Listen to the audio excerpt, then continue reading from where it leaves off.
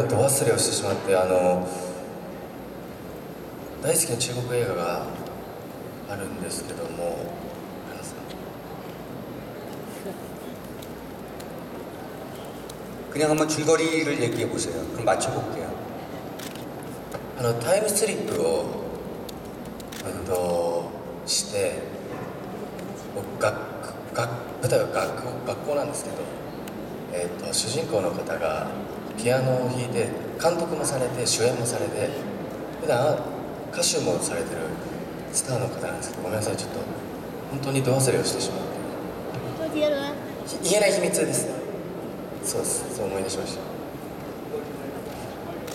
不能说的秘密。いや 네, 우걸륜 주연의 영화일 것 같아요. 知らないあれ 네, 그렇죠? 네. 말할 수 없는 비밀? 저 우리 아, 써냈어. 네, 네, 김고은 씨가 네, 말, 말할 수 없는 비밀이라고 합니다. 네. 네. 이렇게 서로 서로, 네. 도, 서로 도우니까 좋. 네. 서로 도우니까 좋네요. 좋네요. 돕고 사니까. 네. ありがとうございますその日本であんまり主演もされて監督もされてっていう俳優がいないのですごく衝撃を受けたのを覚えてます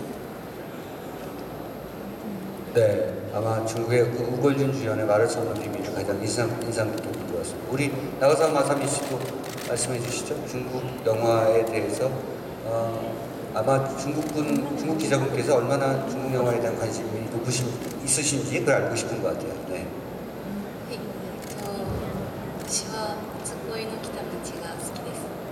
チャンイモ。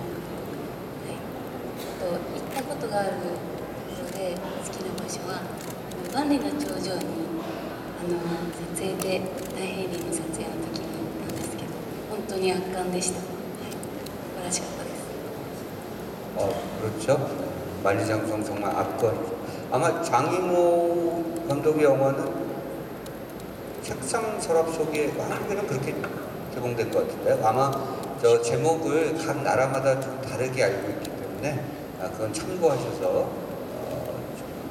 검명하셔야 될 것 같습니다. 네. 장이모 영화를 보완도 장치상 가든대로 예가 됐어요. 맞아요. 네. 한국에서는 제목이 좀 다르게 개봉, 개봉됐습니다. 네. 책상 서랍 속의 동화인가? 저는 그렇게 기억하고 있는데 네. 우리 김공은 씨는 중국 영화 많이 보시죠? 아, 네. 그 처음